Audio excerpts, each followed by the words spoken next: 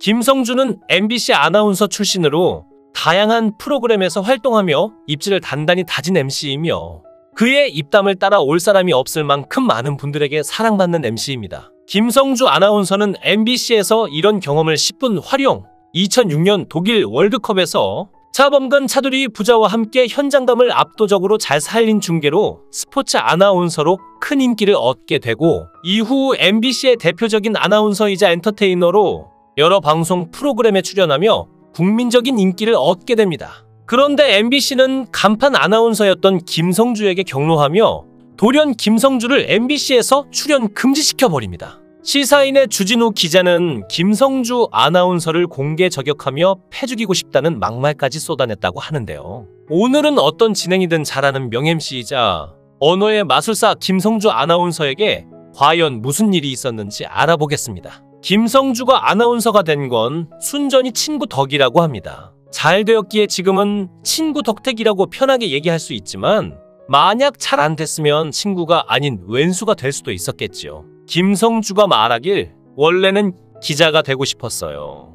대학 4학년 때 친구랑 기자 시험 준비를 하는데 어느 날 그 친구가 넌 기자보다 아나운서가 더 어울리는 것 같다는 거예요. 그 말을 듣고 보니 아나운서도 매력적일 것 같아 첫 시험에 아나운서직으로 지원을 해봤는데 아 글쎄 최종 면접까지 간 거예요. 마지막에 떨어지긴 했지만 한번 최종까지 가니 어느 정도 자신감이 생겨 계속 아나운서직만 응시하게 되더라고요. 그러다 보니 점점 외모에 신경 쓰게 되고 처음에는 아나운서직에 응시한다고 하니 유명해져도 자기 절대 잊지 말라며 격려하던 친구들이 한 해 두 해 계속 떨어지니 아나운서는 아무나 하냐 그냥 샐러리맨이나 하라며 태도를 바꾸더군요. 얼마나 떨어졌으면 나중에는 방송사 사장님도 얼굴을 기억하시더라고요.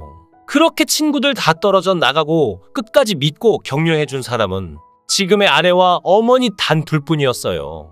그러다 눈을 낮춰 들어간 곳이 지금은 없어진 스포츠 전문 케이블 방송사였다고 합니다. 거기서 스포츠 캐스터 생활을 시작했는데 한창 일할 2년차 때 회사가 부도나고 맙니다. 갈 데가 있는 사람은 모두 떠나고 남은 직원은 겨우 40여 명 정도였는데 김성주도 그중 한 사람이었다고 하죠. 김성주는 최저 생활비 27만 원 받고 일을 하는데 솔직히 어디 갈 데가 없었어요. 그러다 보니 5년간 사귄 여자친구하고 결혼도 할 수 없었고 데이트 비용도 그쪽에서 거의 부담했죠. 비전도 없이 계속 비참한 생활을 한 거예요. 그런 와중에 자포자기 심정으로 MBC 아나운서 시험을 봤는데 아 글쎄 최종 합격을 한 거예요. 이 합격 통보로 그동안의 마음고생을 한꺼번에 씻어낼 수 있었어요. 믿고 기다려준 사람들이 고맙기도 했고요라고 회상했는데요. 합격했을 때 가장 기뻐해 준 사람은 역시 그의 어머니와 오랜 여자친구 진수정 씨였다고 합니다. 지금의 아내 진수정 씨와는 대학교 때 처음 만났다고 하는데 그들이 사귀게 된 계기가 무척 독특한데요. 김성주는 대학 3학년 9월쯤이었어요. 추석을 며칠 앞둔 날이었는데 한 여학생이 제 하숙집으로 찾아왔어요.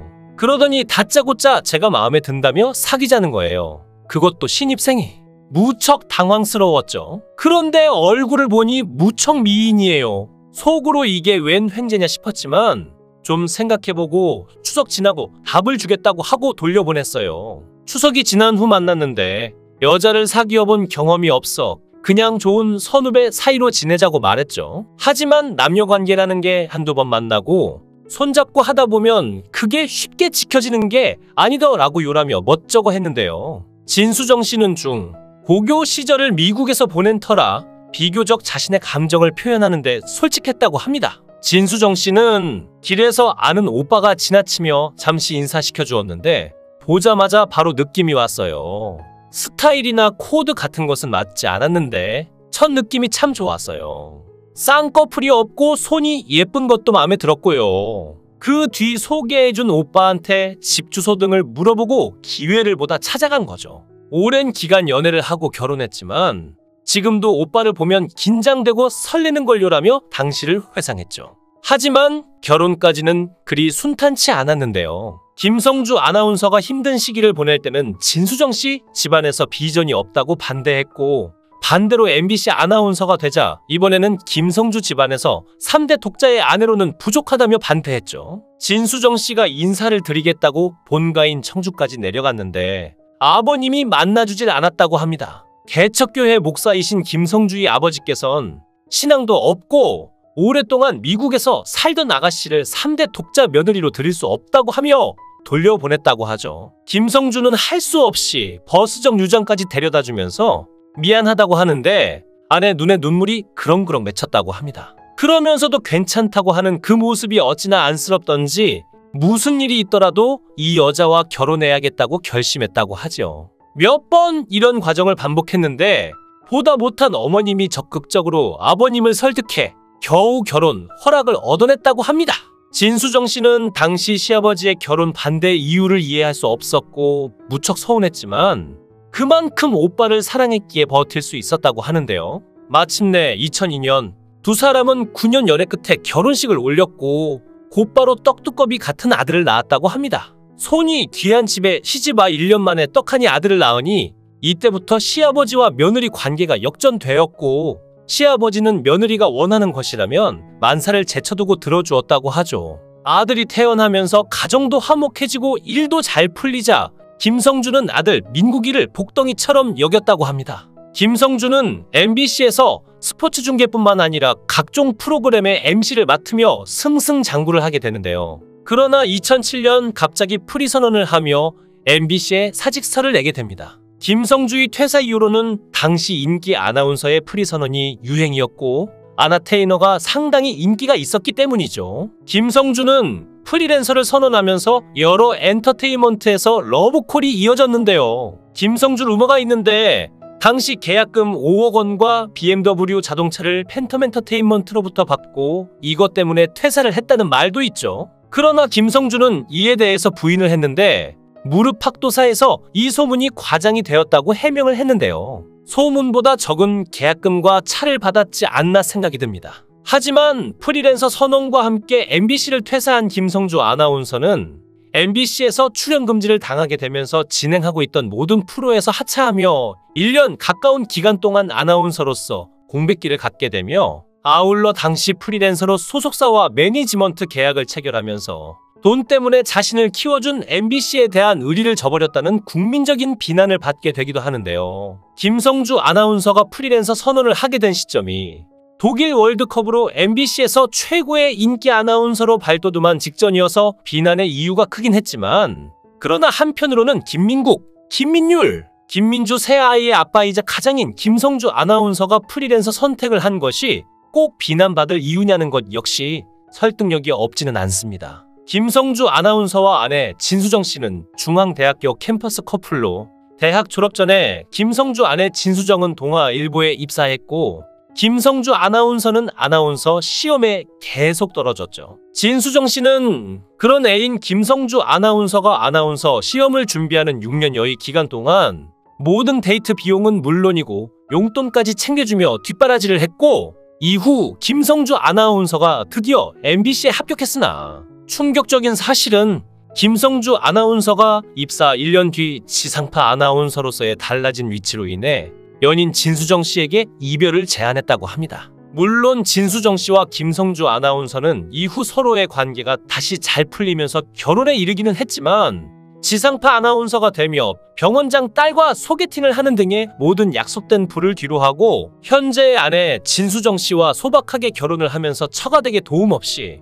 오로지 자신의 힘으로 아내와 세 자녀를 키워야 하는 김성주 아나운서로는 프리랜서 선언이 절박한 자구책이었을 수도 있다는 것이죠. 하지만 MBC와 김성주 아나운서와의 관계는 묘한 동거가 진행되는데요.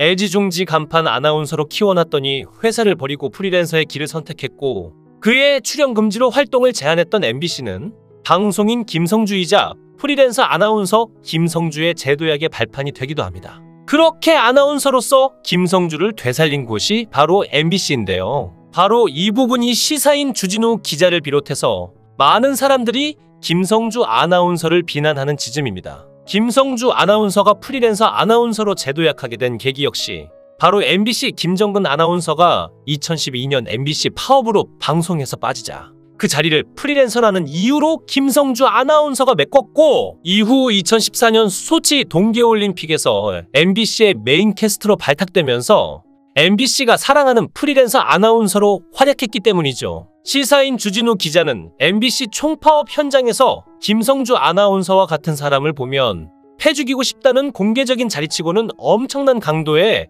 공개 저격을 해서 큰 논란과 화제가 된 적이 있습니다.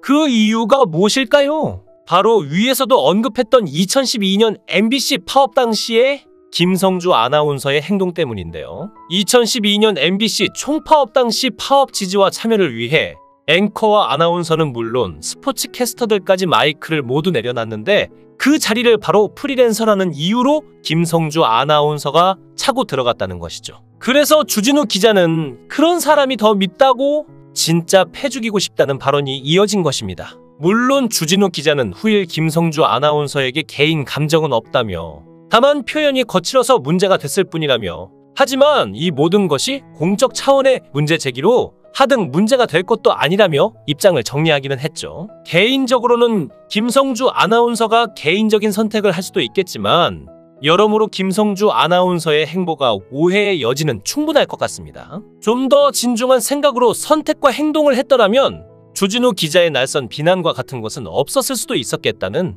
여러모로 안타까운 심정이 없지 않네요. 하지만 김성주의 MBC 퇴사는 신의 한 수였다고 생각합니다. 시청자들의 입장에서도 이렇게 뛰어난 아나운서를 여러 방송에서 볼 수 있다는 것이 어쩌면 다행이라고 할 수 있지요. 김성주가 지금의 자리에 오르기까지는 여러 우여곡절이 있었던 것 같은데요.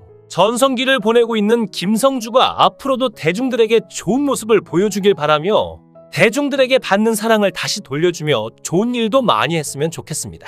영상을 끝까지 시청해 주시고 귀한 시간 내주셔서 대단히 감사합니다. 구독, 좋아요 꼭 부탁드립니다. 더 좋은 영상으로 보답하겠습니다. 거원 해행 구독, 좋아요